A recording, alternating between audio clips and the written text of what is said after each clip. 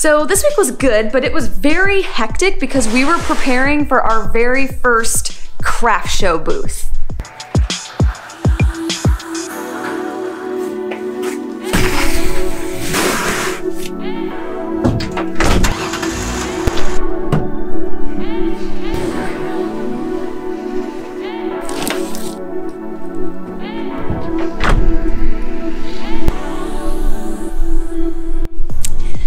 We started this week by building a new batch of walnut charcuterie boards, and hopefully that's the last batch we have to build uh, before we get into our new space.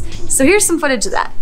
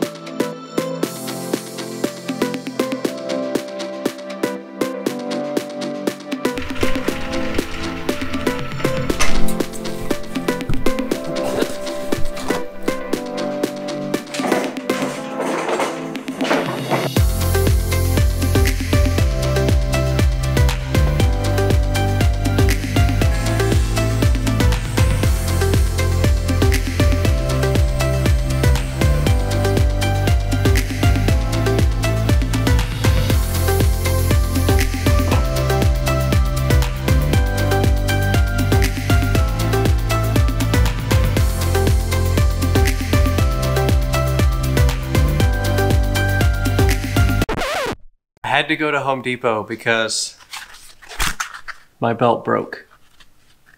There was also a fight in the Home Depot between an employee and some random plumber. I didn't understand what they were fighting about, but I wish I would have recorded it for you.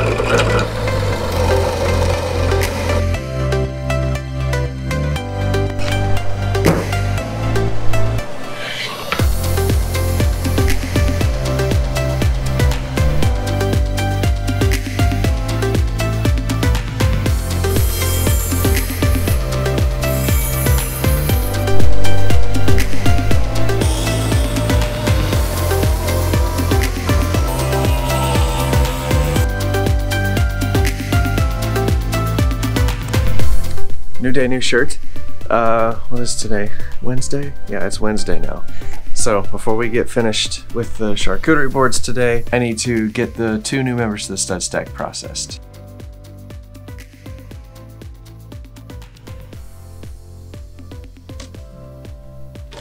All right, Thomas and Igor, your cards are in the mail.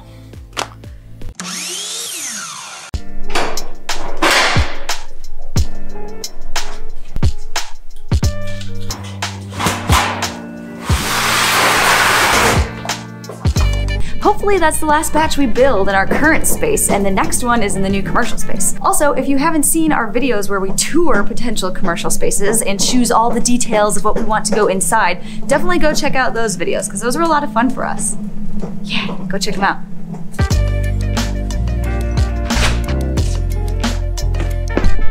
So while Davis was building those, I was selling charcuterie boards. I ended up selling 45 boards this last week, which totals a little over five grand, which is awesome. I sold them to like random people, I did realtors, mortgage brokers, friends, a couple different people, but it was awesome. Sold a bunch of them and got our name out. But we spent most of our week getting ready for our very first craft show. Well, technically, it's not a craft show, it's a pop up store, but it's the same concept. We have a booth, you have your stuff there, you're trying to sell it, there's people walking by, it's same thing. Except with a pop up store, you're the only one there. And we were kind of nervous because we have not done a craft show or a, really a booth or anything like that yet. So we had committed to bringing all of this, or at least a portable version of it, into a coffee shop. We were only going to have like six to 10 feet of wall space to do everything that we've sacrificed the living room for. That means we had to take this laptop. That means we had to take a laser. That means we had to take packaging materials. That means we had to take the crinkle paper. That means we had to take boards. That means we had to take, we literally had to pack up everything that you see here, at least enough that we thought we could sell at this little pop-up store. And then we started thinking of all the what ifs. Like, what if we can't connect the laser to the Wi-Fi? What if their Wi-Fi isn't fast enough or good enough? What if we can't find an outlet close enough to plug the Glowforge in? What if it takes too long? What if it doesn't work? What if it burns too deep? What about the exhaust of the Glowforge? Is the whole coffee shop going to fill full of smoke? What if we sell out of stuff? What are we going to tell the customers? How are we going to take payments? We don't have a little card reader. All of these wonderful questions we had to have an answer before we showed up. So with all of that in the air, I knew one thing was for sure. We we needed to go get the other Glowforge out of storage. I didn't want to disassemble everything we had going on here. I wanted to use our backup Glowforge. Plus, it needed to get out, get some exercise. So I went and picked it up first.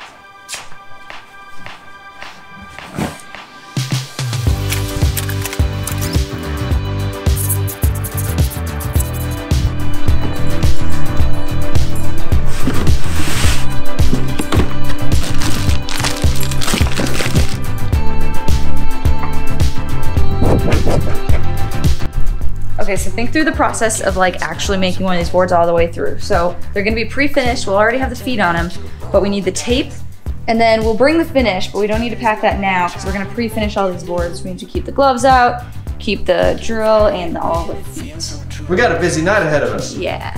You drive me crazy like no one else. The final moment before I lose myself. And it's no use working nine to five.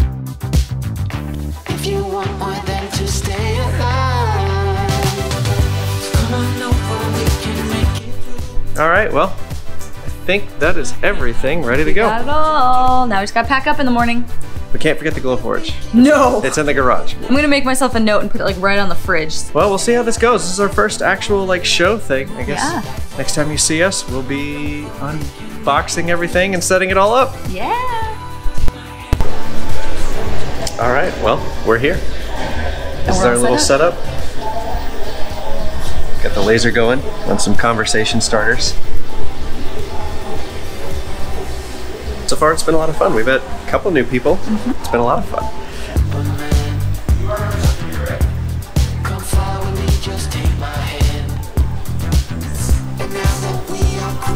Um, it's so funny. It's like some people are really interested in the laser, and then some people are really interested in the boards, and it's almost funny. We're like making predictions on who's going to focus on what Yeah. before they walk over here. But just something to keep the time passing by. Yeah. Been doing a bunch of engravings. I got it in slow mode right now, just doing practice engravings. So for those of you that hate the Glowforge, yes, it can go slower. So we did this pop-up shop in a coffee shop in River Oaks, which is one of the like bougier, kind of wealthier areas of Houston. It actually worked out really well because I met the owner a few months ago while I was just going there for coffee, asked if we could do a pop-up shop, and they agreed. And we had so much fun at this pop-up store. We were there for about six hours, but we must have talked to about 200 different people. One of which was Michael. And he came out just to say hi meet us. We put out on our Jennie and Davis Instagram that we were gonna do a quick little meetup before we started the pop-up store. And he came out and gave us the coolest gifts ever that he made. See? Isn't that cool? Anyways, super awesome guy. You should definitely go check him out. His business is called Blue Fire Laser. Michael, it was awesome to see you. Thank you again so much for the awesome coffee mugs.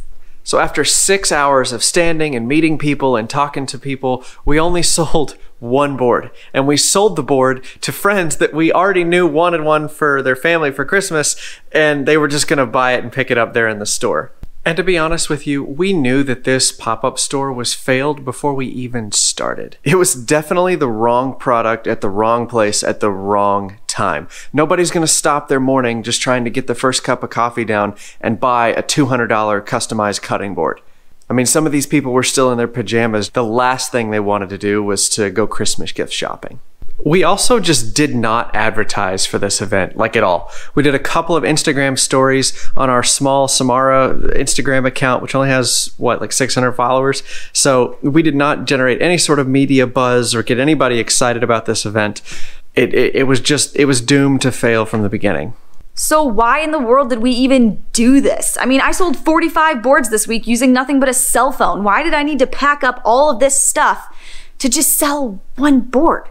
I wasn't trying to sell boards, I was trying to get practice. Practice getting known. Because the best product does not win, the best known product wins every time. And after all was said and done, over 200 people now know who we are. Real people, not woodworkers, not other people that aren't going to buy from us, but actual wealthy people in Houston know who we are. They're they're warmed up to us now. And if we continue to meet people in the wealthier parts of Houston and we keep doing things like this, then it's just a matter of time until we get a colossal order with lots of attention. Ask me how I do it, I just stick to the plan. Ask me how